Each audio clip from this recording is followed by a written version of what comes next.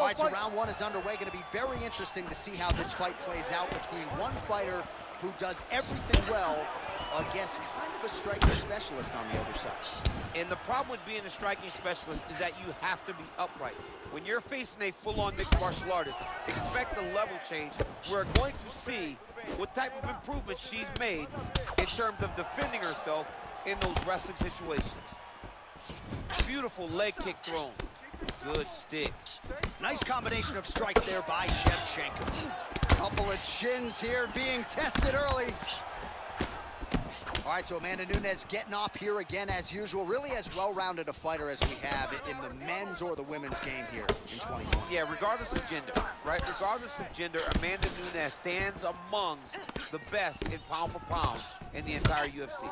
Man, her striking looks clean tonight, timing on point. Her timing's on point, her accuracy's on point. She's very busy. She's in a good flow. So just over 20 total strikes have now landed for Valentina Shevchenko. Trying to establish that jab. Can't take many of those, you better check. All right, under three minutes now to go in round one. That's as good body shot as we can certainly. This could be it. Massive body shot, massive strike, great attempt, great attack, and it landed perfectly for her. Just misses there with the left.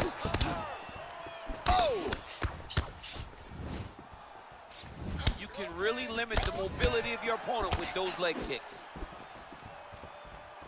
Just over two minutes to go.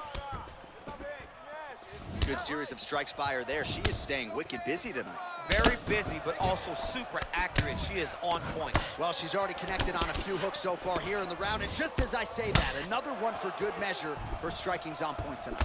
Right on point. She's doing a great job of finding that punch.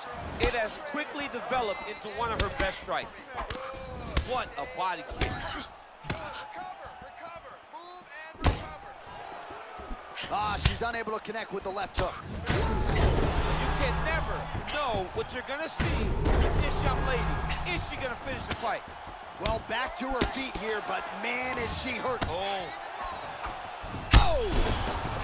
she is such a Oh! And just like that, the fight is over.